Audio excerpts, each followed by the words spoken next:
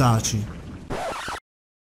Ciao a tutti ragazzi e ben trovati in quest'ultimo appuntamento con La pioggia nel pineto. Ora che abbiamo tutti gli strumenti necessari all'interno della nostra cassetta degli attrezzi per agire sulla poesia, possiamo finalmente leggerla, farne la parafrasi e coglierne quantomeno gli aspetti minimi fondamentali. Praticamente D'Annunzio ci mette davanti a un vero e proprio processo di metamorfosi. Lasciate che mi spieghi meglio. All'interno di un contesto rarefatto ed indefinito, viene messo in atto un vero e proprio rito dionisiaco o panico, in cui la pioggia funge da accensione e lo stesso linguaggio si trasforma nel rito orfico del poeta, attraverso il quale i protagonisti riescono a congiungersi con la natura che li circonda. La parola poetica ha quindi una importanza fondamentale in questa poesia. Come fosse un mantra, attraverso una variazione infinita sul tema, fatto di eh, riverberi e suggestioni sonore, è possibile tutto ciò che viene detto nella poesia stessa. Ma ricordatevi che l'unico vero protagonista assoluto di questa poesia è il poeta stesso e che questo poeta è D'Annunzio. Non perdiamoci però in chiacchiere e iniziamo subito con la lettura della poesia. Io non mi metterò a declamare la poesia perché mi manca proprio la qualità vocale. Vi lascerò comunque qui sotto in descrizione un video in cui qualcuno con una voce molto migliore della mia ha dato il giusto merito anche alle qualità fonetiche di quest'opera. Ma iniziamo subito e quindi... Taci. Ecco, mi devo fermare subito. Questo, secondo me, è uno degli incipit più belli della letteratura italiana, ma anche uno dei più divertenti. Immaginatevi solamente la scena. Ci sono Eleonora e Gabriele che se la stanno passeggiando bellamente, senza un pensiero per la testa molto probabilmente, quando ad un tratto sono colti dal più classico degli acquazzoni estivi. Io mi sono sempre immaginato la povera Eleonora che inizia a imprecare contro il destino cinico e baro, a correre per la pineta per ripararsi dalla pioggia, e poi salta fuori D'Annunzio fiero che la blocca e le fa taci. Allora, per prima cosa Gabriele devi stare molto calmo. E secondariamente, ma non lo vedi che ci sta crollando il cielo addosso? Che c'hai da dire proprio adesso? E Gabriele che inizia a sproloquiare la sua tiritera non oso immaginare la faccia della Duse. Comunque, a parte gli scherzi, questo Taci ci dà subito una informazione importante. Da qui in avanti non c'è spazio se non per la voce del poeta. Solamente lui è in grado di cogliere i recessi più segreti della natura e solamente la sua poesia è in grado di restituirceli. Quindi, tanto Eleonora quanto noi lettori dobbiamo fare silenzio e ascoltare. Infatti la poesia prosegue. Alle soglie del bosco non sento, sottinteso io poeta, le parole che dici, che appartengono al mondo umano, ma sento un linguaggio più fresco che si esprime attraverso il rumore della pioggia sulle foglie. In questo primo periodo si può sottolineare una costruzione sintattica molto particolare che D'Annunzio utilizza per accentuare il senso di straniamento del lettore. Sto parlando dell'uso nei versi 5 e 6 di una figura retorica chiamata in gergo figura etimologica, parole più nuove che parlano gocciole foglie. In pratica utilizza un verbo, parlare in questo caso, solitamente impiegato in modo intransitivo e in modo transitivo una cosa possibile con questo tipo di verbi accostandoli a termini con la stessa radice etimologica. Un esempio è vivere la vita. La strofa prosegue con un altro imperativo, ascolta, che insieme al taci iniziale invita non solamente al silenzio, ma anche all'ascolto. La pioggia cade dalle nuvole sparse. Da qui in poi inizia un unico lungo periodo che chiude la prima strofa. Anche un periodo come questo serve a destabilizzare il lettore. Ci si perde a leggerlo tutto d'un fiato ed è quello che vuole D'Annunzio, che noi ci si lasci trascinare dal flusso delle parole. Piove sulle tamerici, che sanno di mare e sono bruciate dal vento. Piove sui pini dalla corteccia scaglie e le foglie aghiformi. Piove sui mirti divini, sulle ginestre risplendenti di fiori a gruppi, sui ginepri folti di frutti profumati. Piove sui nostri volti da abitanti dei boschi. Piove sulle nostre mani nude, sui nostri vestiti leggeri, sui pensieri similmente freschi che scaturiscono dall'anima rinnovata, sull'illusione dell'amore che ieri ti illuse, che oggi mi illude, o Ermione. Questo periodo è sostanzialmente diviso in due parti. Nella prima vediamo la descrizione di fiori e piante, ma non sono scelte a caso. Le tamerici hanno una lunga tradizione letteraria.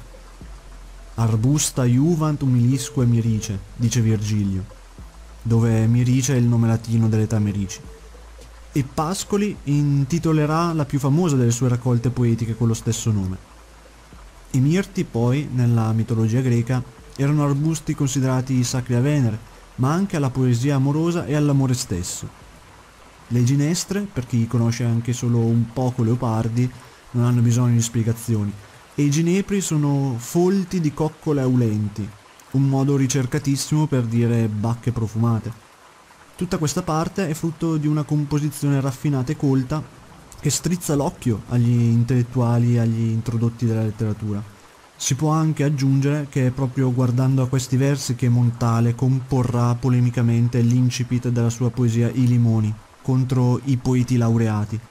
A partire dal verso 20 l'attenzione si sposta invece sui due personaggi. Ma i volti si fanno silvani, si trasformano sotto la pioggia e attraverso la poesia. L'anima si schiude come fosse un fiore se stessa sui pensieri freschi della coppia. Il processo di metamorfosi inizia e come vedremo sarà sviluppato nel prosieguo. Sul finale della prima strofa non c'è molto da dire. Si conclude con un ripiegamento intimistico. Se vogliamo proprio fare quelli precisi, si può dire che la favola bella del verso 29 per riferirsi all'innamoramento è una citazione dotta di Petrarca, più precisamente Canzoniere 254, in cui si parla di una favola breve, con lo stesso significato. La scelta anche qui non è casuale.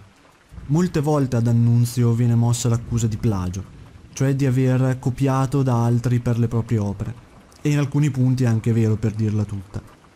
Ma non tutti sanno che anche a Petrarca fu mossa questa accusa, ed egli per discolparsene si inventò il cosiddetto processo di mellificazione. In pratica il poeta aretino divise gli artisti in due grandi categorie, quelli che, come i ragni la tela, producono loro stessi il materiale della propria arte, e chi, come le api, è costretto ad andare di fiore in fiore per cogliere il nettare da cui ricavare il proprio miele. Anche qui non è un caso, secondo me, se D'Annunzio utilizza proprio una citazione di Petrarca. L'ultimo mistero da svelare della prima strofa riguarda questa Ermione verso cui il poeta si rivolge. Ma non era Eleonora Duse? Sì, ma D'Annunzio, per opportunità e raffinatezza, decide di rinominarla in Ermione. No, non c'entra nulla Harry Potter, ma la mitologia greca. Ermione, infatti, secondo il mito, era la figlia di Elena e Menelao, proprio quell'Elena in Menelau di cui si parla nell'Iliade. In questo modo, oltre a nobilitare la Duse con un nome del mito, D'Annunzio evita inutili grattacapi, dato che lui era sposato all'epoca ed Eleonora era l'amante, per cui uno pseudonimo era necessario. Passiamo ora alla seconda strofa. Odi, anzi, meglio dire senti ed è la terza volta che D'Annunzio torna a richiamarci. La pioggia cade sulla solitaria vegetazione con un crepitio che persiste e varia nell'aria in base all'intensità della vegetazione. Qui tutto ruota sulla sensibilità accesa, quasi ipertrofica del poeta, che presta attenzione ad ogni minima variazione. Ascolta. E siamo a quattro avvisi. Il frenire delle cicale risponde al suono della pioggia, poiché non le spaventa il vento australe né il cielo nuvoloso. Piccola nota, Ho usato frinire perché è il verbo con cui si indica il suono caratteristico emesso dal lecicale, ma che può essere utilizzato anche per uccelli e bambini. Comunque, da qui in poi la metamorfosi è totale. Non sono solamente i protagonisti ad avvicinarsi al mondo della natura, ma anche la stessa natura ad antropomorfizzarsi. È in un certo senso il linguaggio a rendersi congiuntivo, cioè a rendersi capace di congiungere la pluralità dei sensi e del reale. È qui che si denota come si stia assistendo ad un vero e proprio rito dionisiaco, che rompe le associazioni tradizionali e ne crea di nuove. Il pino emette un suono, il mirto un altro e il ginepro un altro ancora, strumenti diversi suonati dalle innumerevoli dita della pioggia. E noi siamo immersi nello spirito che anima il bosco, vivendo la stessa vita degli alberi, e il tuo viso inebriato di sensazioni come una foglia è ammorbidito dalla pioggia, e i tuoi capelli profumano come le splendenti ginestre. Auliscono come i ginepri della prima strofa, o creatura terrestre che hai nome Ermione. E questa Ermione, notate, non possiede nemmeno più connotati umani, ma diventa nella visione del poeta una creatura terrestre. Arriviamo alla terza strofa. Ascolta, ascolta. Ed è il quinto richiamo. Il suono delle cicale si fa a poco a poco più debole sotto il pianto della pioggia che cresce. Ma un canto vi si mescola più roco che sale da laggiù dei recessi più lontani e umidi del bosco. Anche qui possiamo notare il carattere rituale, quasi liturgico che pervade la poesia, con il canto delle cicale e di un altro animale di cui scopriremo il nome solamente al verso 92, a fare da vero e proprio coro del rito in atto. Un'altra cosa da sottolineare è l'ambientazione sempre più rarefatta e indistinta, il canto più roco sale da laggiù, dall'umida ombra remota, ma non ci è dato sapere dove. Anzi, più avanti il poeta se lo chiede esplicitamente, chissà dove. Ma intanto il canto, più flebile e più fioco, si indebolisce, si spegne. Una sola nota ancora trema, si spegne. Risorge, trema, si spegne non si sente alcun suono provenire dal mare. Ora si sente scrosciare su tutta la pineta l'argentea pioggia che purifica. Si sente, sottinteso, lo scroscio che varia a seconda della fronda, più o meno folta. In un certo senso qua tornano gli strumenti diversi sotto innumerevoli dita della, della strofa prima. Ascolta. Sesto avviso. La cicala chiamata qui figlia dell'aria, è muta. Ma la lontana figlia del fango, la rana, finalmente sappiamo che emette questo nuovo suono, canta nell'oscurità più profonda, chissà dove, chissà dove, e piove sulle tue ciglia, o Ermione. E si finisce con la quarta e ultima strofa, che inizia là dove si interrompe la terza. Piove sulle tue ciglia nere, così che pare tu pianga, ma di piacere. Sembra tu erompa dalla corteccia di una pianta, con una carnagione non bianca ma quasi verdeggiante. Vedete, Ermione ormai è più simile alle ninfe del mito che a una persona concreta.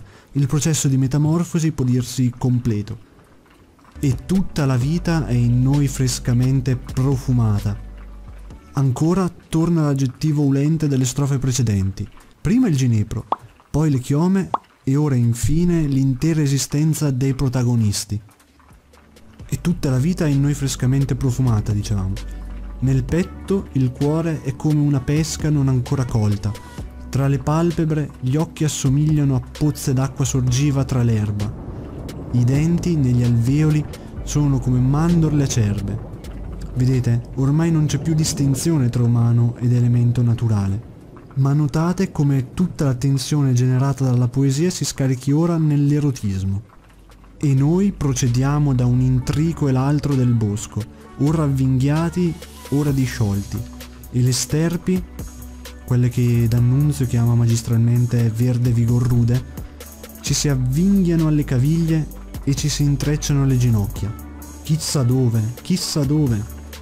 Qui c'è da notare la precisione terminologica di D'Annunzio. I malleoli per dire caviglie è un termine che a nessuno verrebbe mai di mettere in una poesia, soprattutto in una poesia come questa. E infine la conclusione, che riprende quasi letteralmente il finale della prima strofa. Un artificio che D'Annunzio utilizza per collegare ancor più saldamente i vari elementi dell'opera. E piove sui nostri volti silvani, piove sulle nostre mani nude, piove sui nostri vestiti leggeri, sui freschi pensieri che sgorgano dall'anima trasfigurata, sull'illusione dell'amore che ieri mi illuse, che oggi ti illude, o Ermione.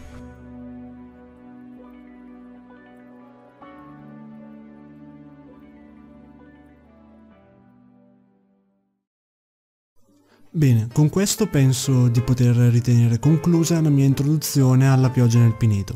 Lo so, avrei potuto soffermarmi maggiormente sulle assonanze o sulle allitterazioni o sulle rime interni presenti nell'opera, come avrei potuto soffermarmi su una miriade di altre cose in realtà. Però, come ho detto sin dall'inizio, non pretendevo di fare un video che potesse esaurire completamente quest'opera e non voglio nemmeno togliervi tutta la sorpresa di analizzare per i fatti vostri anche quest'opera, per poterne scoprire anche qualcosa di più personale e di più vostro. E comunque penso che tre video possano ritenersi sufficienti per avere almeno un'infarinatura generale di D'Annunzio e di quest'opera.